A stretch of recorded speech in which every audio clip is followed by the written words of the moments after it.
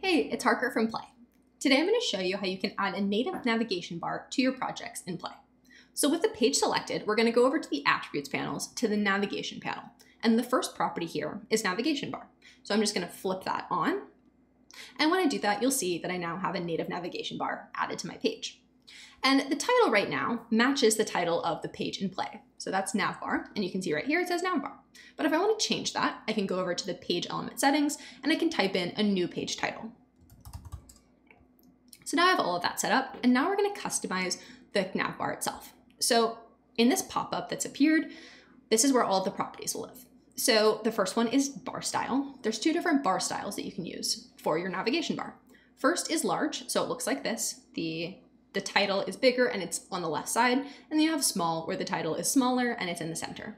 You can also set it to auto, and this will inherit whatever the previous page had. So if the previous page had a large nav bar, this page will also have a large nav bar.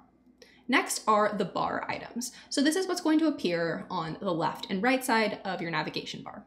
And it's very easy to add them. So you just press on the plus side on either the left bar items or on the right bar items.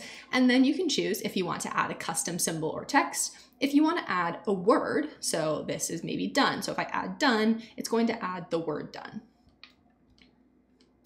You can also add a symbol. So that's this second set down here. So these words uh, are these words have an associated symbol. So if I do search, you'll see the looking glass search symbol will be added.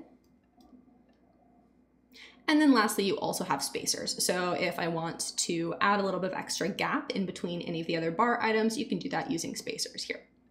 I already have the bar items that I want set up. I have edit, and so this is a system word. I also have a custom one set up here. So I have this call button and I can search through any of plays or any of Apple's SF symbols and I can add that. I can also type in a word. So now this bar item has both the symbol and the word.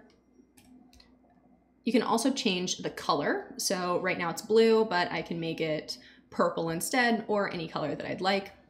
Also, if I go back up to the top, there's this default option, and I'll show you how to set the default for all of the different bar items in just a second. And then lastly, I have this system that um, I have the system symbol. And if I want to rearrange any of the bar items, I can just drag and drop. Next, we have enable back. So when this is turned on, it means that what page is going to have a back button and the bottom, the one below that is show title on subpage. So this fits in with the enable back button. So when the back button is there, it's also going to say the name of this page. So for example, let's say from here we navigated to a settings page. On the settings page, there will be a back button that says back chats. And when you tap that, it will use a back to page or dismiss page action to take you back to this chats page. Next, we have prompt, and this is a way to add a little bit of extra text to the top of your nav bar. So in our chats page, maybe we want to say text a friend. And when that's added, you'll see it lives right up there. Next, we have hide navbar. So there's several options, and when you click on the right side, you'll have this small popover, and you can choose if you want to hide the navbar when you tap on the page, when you scroll on the page, or when you use a keyboard or or when you open a text field and the keyboard appears. So let me show you what happens when I turn on scroll on. So as I'm scrolling down my page, you'll see that the chat disappeared.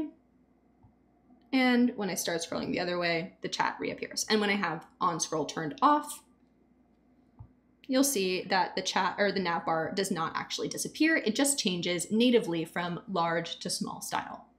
These bottom two properties are how you'll change the appearance. So you have a default appearance, which is how your navbar will look when you have not scrolled down the page, and you also have a scrolled appearance, which is how your navbar will look when you have scrolled down the page. So for the default appearance, well, for both of these, you'll click on the right side and a pop-up will appear. You'll be able to adjust the blur. You can use all of the system blurs or the blurs that we've provided. You can do default, you can have no blur. You can also turn the shadow off or have it turned back on. That's the little line that shows here. You also have the tint, and this is going to change the color of all of the navbar items. So remember earlier when I said you could change the color of this phone button and it would override the default? This is how you change the default. So when we have it set to blue by default and maybe I want it to be mint, you can see all of them change and you can continue to adjust those. Next we have bar fill. So this will change the background of the entire bar.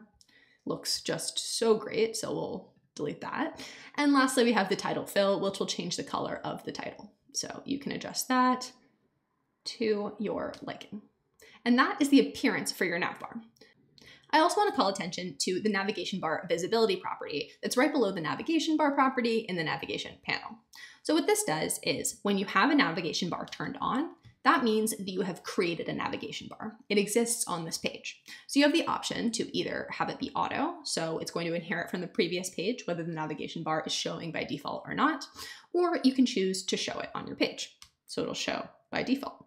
When the nav bar is turned off, it means you don't have a nav bar on this page. So your options are to either do auto, so again, it'll inherit from the previous page, and it'll either inherit the actual navigation bar from the previous page, or it'll inherit that there's no navigation bar.